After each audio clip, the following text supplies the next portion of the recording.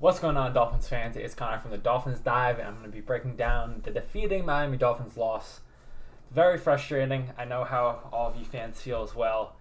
Uh, once again, Dolphins can't get over the hump of beating a good team. I know that's a huge narrative going on. I think it's a slightly silly narrative, but there's definitely some truth to it. Now, I the reason I say it's a silly narrative is the Dolphins beat themselves here very clearly. Um, they had many opportunities to be in this game, take the lead, win the game, uh, and they just fell flat, which is very un- annoying and unfortunate considering like how close this game truly was. Um, so that's why I'm not like the sky is falling because if one thing goes a different way, it's a different ball game kind of deal. But the fact that it's a recurring thing is the main concern. So I want to say this game was lost in the first half very clearly. Uh, we obviously got shut out offensively. Um, and the main reason for that, obviously, it's been a recurring issue, especially in away games, is the pre snap penalties or the first downs that go for negative yardage that just crush drives. Uh, whether it be a holding, false start, waste of a timeout because you don't get the play calling kind of deal but it's recurring every single away game. It, they struggle with the crowd noise. They need to continue to get better at that. It's improved from where it was in Buffalo, but it's still not up to standard. It shouldn't be happening at all. Um, and there's blame to go around, obviously, and some of the blame you don't necessarily know who to put it on. Uh, for example, the second to last play of the game, where's Tua throwing the ball to? Like, is it just a straight up awful throw? I don't think it is. I think there's a miscommunication, but to what extent? He had Cedrick Wilson open deep. He had Jeff Wilson flying across the middle. Like, just slightly frustrating. Uh, once again, like it could be Tua's fault, but it also could be Cedrick Wilson's fault. There's there's no way of knowing unless you're in the building. Um, but I would say in the first half, once again, I don't like to point fingers and place blame, but Tyreek Hill has some critical mistakes. First with the drop pass, uh, which it was second and 10.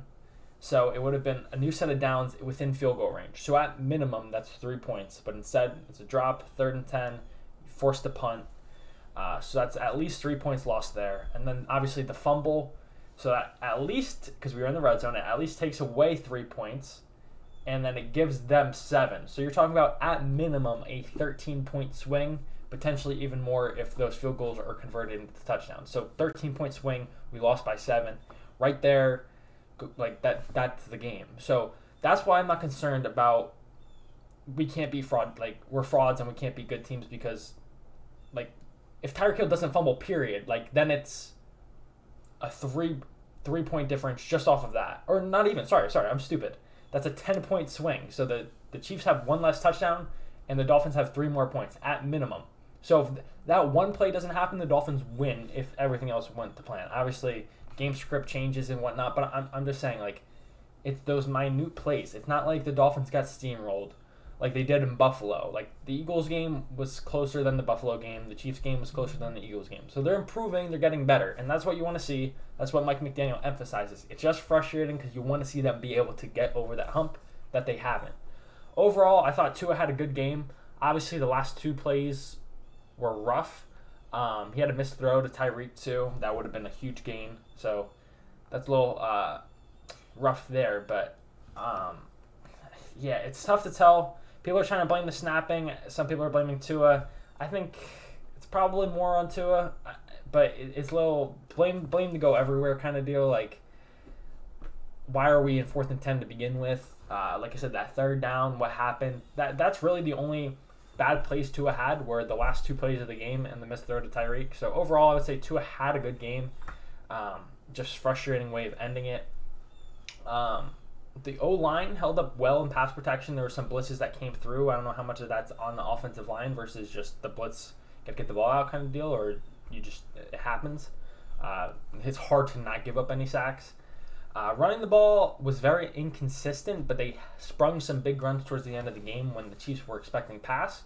So happy about that. Would have liked to see that like be able to execute early in the game, but it was good to see that it eventually did happen. So it's hard to call it a win for the running game, um, but they did have some good plays. So it's a little there's improvement definitely needed, but there were some good plays.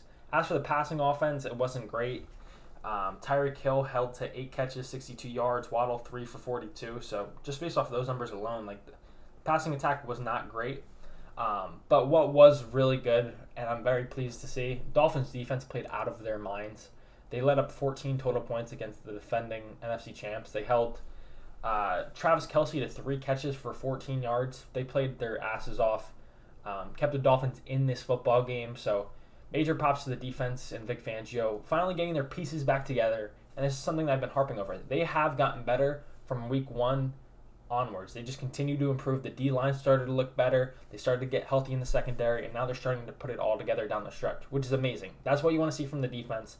The offense needs to return to form how they were early in the season. Now, once again, like I don't know why it's such a hard concept for to grasp. Like, yes, teams are gonna be execute better against bad teams. It's just easier.